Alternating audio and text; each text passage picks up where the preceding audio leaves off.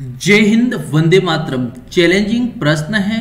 SSB tradesman की तैयारी करें तो 25 में से 10 प्रश्नों के उत्तर आपको देने वरना आप पढ़ाई को छोड़ दीजिए। एग्ज़ाम आपका जून के अंदर होने वाला है। आप सभी को पता होगा, ज्ञात होगा कि आपका केवल 25 में से 10 प्रश्नों के उत्तर आपको देने हैं। और दोस्तों, अभी तक आपने हमारे 100 पेपर सेट ज्वाइन नहीं किए तो मात्र हंड्रेड रुपये के अंदर 100 प्रैक्टिस सेट है।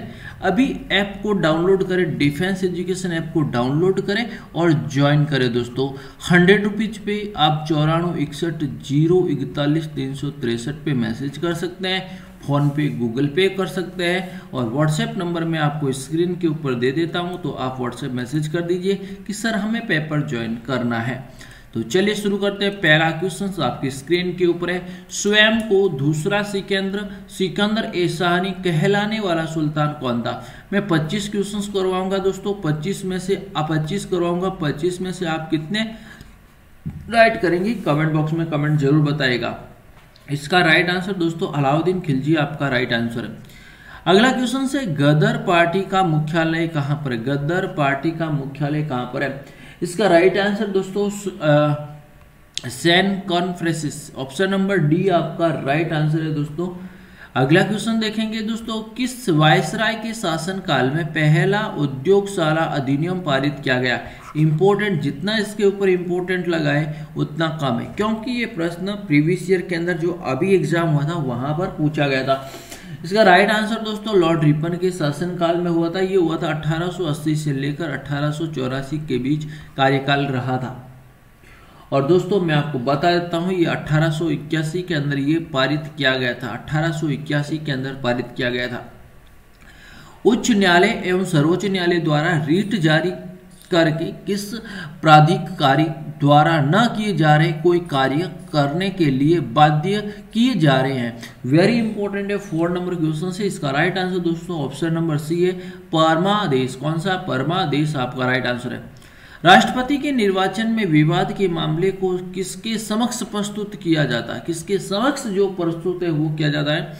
वो किया जाता है भारत के उच्चतम न्यायालय। जो भारत का मुख्य न्यायाधीश है, वहाँ न्यायालय है, वहाँ पर किया जाता है। उच्चतम न्यायालय भारत के अंदर संख्याएँ कितनी? एक है। भारत के राष्ट्रपति पर महाअभियोग की विधि। वेरी इंपॉर्टेंट क्वेश्चन है दोस्तों। यह भी एग्ज़ाम के अंदर भी पूछा गया था। Right answer U S A की ओर से लिए यूएसए की ओर से लिया, कहाँ से लिया है? यूएसए यूएसए की ओर से लिया गया है। वेरी इंपॉर्टेंट क्वेश्चन है और एग्ज़ाम की दृष्टि से काफ़ी आपका हेल्प रहने वाला है। और दोस्तों, मैं आपको बता देता हूँ, अगर आप बी एस एफ़ ट्रेड्समैन की तैयारी कर रहे हैं तो आप सभी के लिए मॉडल पेपर सेट ज्वाइन करें, अच्छे से और अच्छे से तैयारी करें, तब आपका एग्ज़ाम क्लियर हो जाएगा दोस्तों, अच्छे से। केंद्रीय विधान मंडल का अध्यक्ष बनाने वाले पहले भारतीय कौन थे? केंद्रीय विधानमंडल का पहला अध्यक्ष। राइट आंसर विठल भाई पटेल। कौन थे भैया? विठल भाई पटेल 1925 1925 में। भारत के नियंत्रण एवं महालेखा प्रेक्षक की नियुक्ति की अवधि कितनी होती? जिसे हम बोलते हैं सी ए जी के इसकी नियुक्ति कितने साल या कितने? तो दोस्तों देखेंगे छ या पैंसठ वर्ष, जो दोनों में से पहले हो। आपकी एज पैंसठ साल है तो भी आपको हटा दिया जाएगा। अगर आप छह हैं तो भी आपको। छह वर्ष कार्यकाल इसका कितना? कम से कम छह साल, और अधिक जो आपका महीना है। पैंसठ वर्ष। भारत के प्रत्यक्ष लोकतंत्र का उदाहरण कौन सा? प्रत्यक्ष। लोकतंत्र। इसका राइट आंसर दोस्तों, नगर पंचायत। अगला देखिए, तेरे ताली नृत्य किससे संबंधित है? तेरह ताली नृत्य टेन नंबर क्वेश्चन तेरह ताली नृत्य राजस्थान से संबंधित, किससे संबंधित है दोस्तों? राजस्थान से संबंधित तेरह ताली नृत्य राजस्थान से संबंधित है।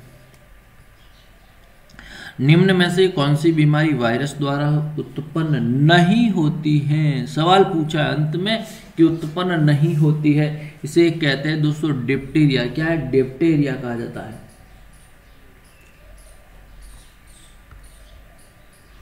निम्न में से कौन सा सूफी संत? निजामुद्दीन ओलिया राइट आंसर? निजामुद्दीन औलिया। 1236 में इनका जन्म हुआ था। 1236 में इसका जन्म हुआ था। जोजिला दरा वेरी वेरी इंपॉर्टेंट क्वेश्चन है दोस्तों। जोजिला दरा जोजिला दरा यस श्रीनगर और लेह को जोड़ने का कार्य करती है जम्मू एंड कश्मीर के अंदर स्थित है। सवाल, बहुत बार सवाल पूछा गया कि जोजिला दरा कहाँ पर स्थित है? तो जम्मू एंड कश्मीर के अंदर। किन किन को जोड़ने का कार्य करती है? तो श्रीनगर से लेह को जोड़ने का कार्य करती है। निम्न में से कौन सा भारत का पारिस्थितिक तप स्थल कौन सा है? इस पश्चिमी घाट। दोस्तों, ये आपको इस प्रकार से आपका जो भारत है भैया, यस, भारत है।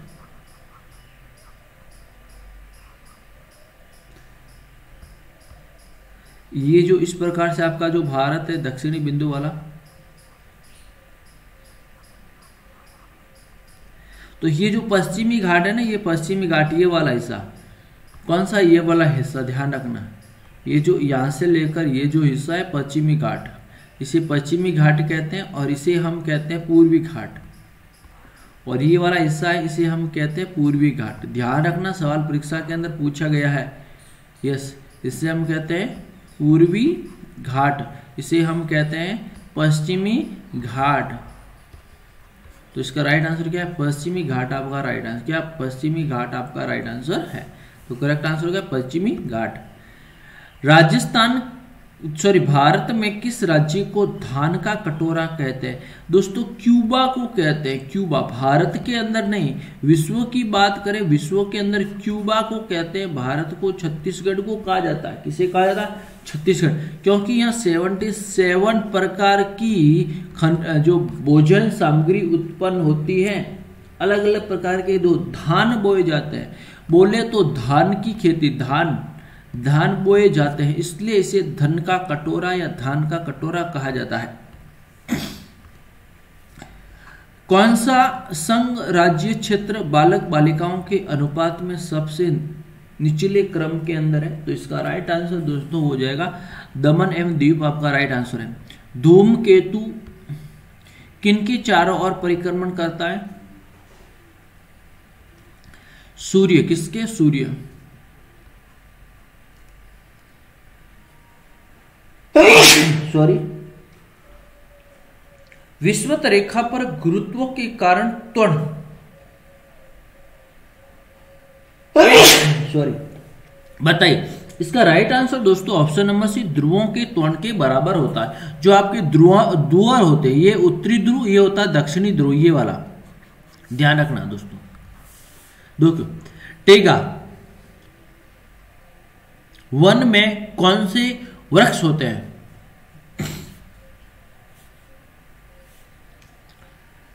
मर्थ कास्ट वृक्ष। डोलोमाइट, क्या डोलोमाइट? क्या डोलोमाइट पता है? डोलोमाइट। औषधि सेल।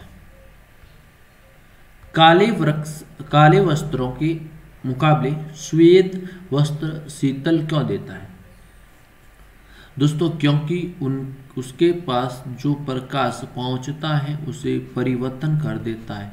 जब बोलते हैं, सर्दी होती है दोस्तों, सर्दी। शादी ने? शादी लिख दिया मैंने। यस सर्दी। सर्दी होती है ना, उसे बोलते काला कपड़ा पहनना क्या पहनना काले, जैसे हम कोट वगैरह काले पहनते हैं। इनका कारण क्या जो सूर्य की जो उष्मा होती है ना, उसको परिवर्तन करता रहता है। और गर्मियों में सफ़ेद वस्त्र पहनते हैं। निम्न में से डेटाबेस मैनेजर का उदाहरण कौन सा है? डेटाबेस मैनेजर का उदाहरण कौन सा है? बताइए। पेराडक्स नेक्स्ट अगला देखिए। शीशे के संचय वाली सेल किस अम्ल का प्रयोग करती है? इसका राइट आंसर है सल्फ्रिक एसिड का प्रयोग करते हैं। और दोस्तों देखेंगे, उस विटामिन का नाम बताइए जो किसी भी मांस में, मांस के भोजन के अंदर नहीं पाया जाता है विटामिन सी नहीं पाया जाता है। और आज का अंतिम प्रश्न, पुरानी एवं नष्ट प्राय लाल रक्त कणिकाओं कहाँ नष्ट हो जाती है? तो ये होती है दोस्तों प्लिया के अंदर नष्ट हो जाती है। और आज का होमवर्क प्रश्न, जो 26 नंबर क्वेश्चन है ये है आपका होमवर्क। रक्तचाप निम्न में से उच्च होता है। चार ऑप्शन है। चारों प्रश्नों का उत्तर आपको कमेंट बॉक्स में देना है। वीडियो को लाइक करेंगे, चैनल पर पहली बार चैनल को सब्सक्राइब करेंगे। ज़रूर कीजिए।